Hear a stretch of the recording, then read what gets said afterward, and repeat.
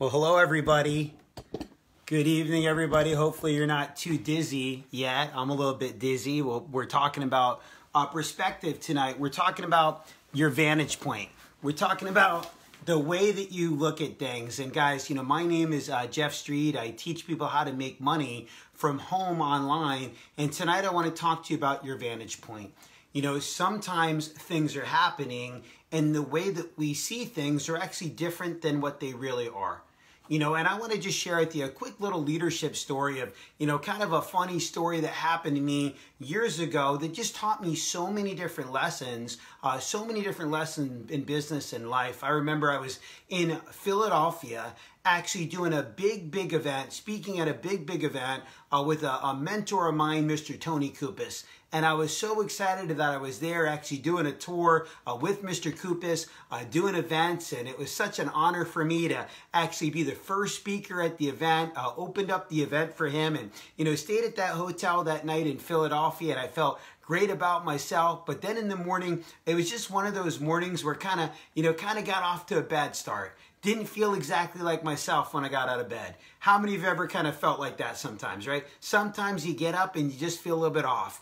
And uh, I was in uh, Philadelphia at the time. I actually had a lunch appointment in South Jersey. And then I was speaking at a leadership event that night, actually in Warwick, Rhode Island. And I'll never forget, I was, you know, in a rush. You know, I had to check out. I had to get to this appointment for lunch. I, you know, woke up late. I was running late. I was carrying all my stuff, my suit bag, my luggage and everything. And there I am at the hotel, just hitting the down arrow on the elevator, waiting for the elevator to, you know, to open up. And anybody ever been waiting for an elevator and it just seems like it's taken forever? Well, let me tell you this, that day, it was taken forever. I'm talking about I was sitting there for over 10 minutes. But the crazy thing was, I'm staring at the two elevator doors and nothing's happening. But every once in a while, I would hear a ding. And it was almost like somehow the elevator is just passing my floor.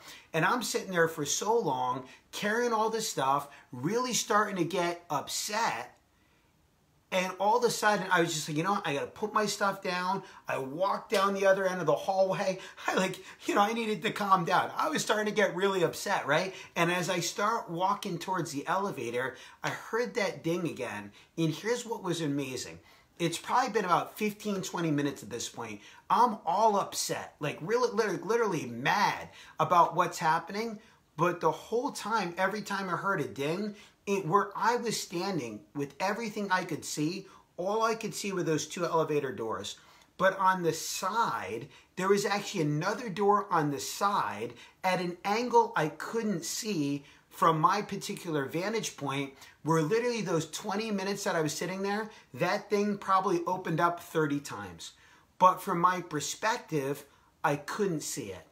And as soon as I realized what was happening, man, I felt like a fool. Man, I was just laughing at myself and I was like, you know what? Someday this will be a good story, you know, to tell somebody. And, you know, I got to my lunch appointment and I did that. And then I'm driving, you know, to Warwick, Rhode Island from New Jersey to do a leadership event there uh, that particular, you know, evening. And all of a sudden I'm in Connecticut somewhere on 95 and traffic comes to a halt like completely, completely stopped to the point where literally I'm stuck in traffic for probably like two hours. And now at this point, I had, before getting in the car for the drive, I got out of my dress clothes and I'm sitting there. I got a backwards hat on, a white t-shirt, a pair of uh, board shorts, and some running sneakers. I'm sitting there sitting in traffic and traffic literally does not move for two hours. And now I'm looking at people around me. People are punching the steering wheel. People are yelling. People are cursing. People are outside of the cars, flipping out, freaking out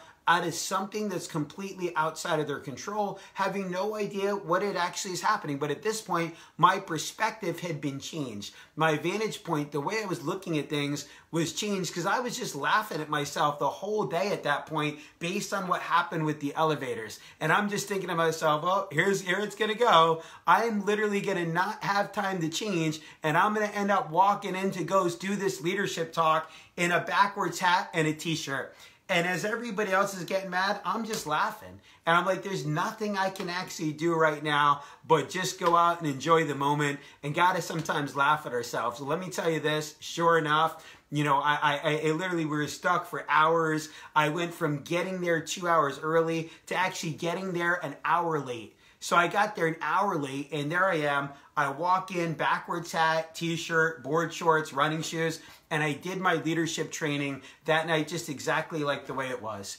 And you know what I talked about that night? I talked about that story of the elevator. And but what I talked about it, what I mentioned is sometimes you cannot see the vantage point. Sometimes you can only see things from a certain certain point of view about what's going on in your life.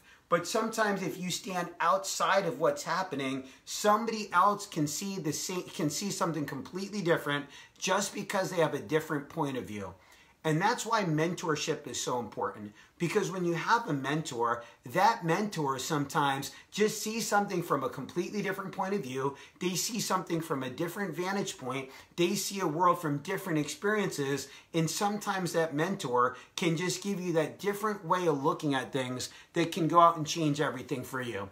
You know, that day with the elevator, just walking back and being, you know, 20 feet behind me allowed me to see something from a completely different point of view. So, guys, hope that you got something out of this here tonight. You know, life's about your perspective, life's about your vantage point, life's about the way that you look at things. And some of us right now, we got to train our minds to start looking at some th- things differently. Sometimes people get real negative on just the littlest things. So, what I'm going to share with you guys is be positive. Next time you're upset about something stupid, laugh at yourself. You know, next time you can't see something right, call somebody else, call a mentor, call somebody else that might be able to see what you're going through in life from a different perspective because one little piece of advice that they might be able to give you might be able to change everything for you. So if you got some kind of a value out of tonight, hit the share button. You know, hit the share button tonight if you think that this is something that somebody else could get value from. Tag somebody in the video if you if you think of somebody could really get something out of the message, and you know, just uh, you know, drop a comment you know, drop a comment, you know, in the comment section here tonight saying, you know, my the, the way I look at things is everything.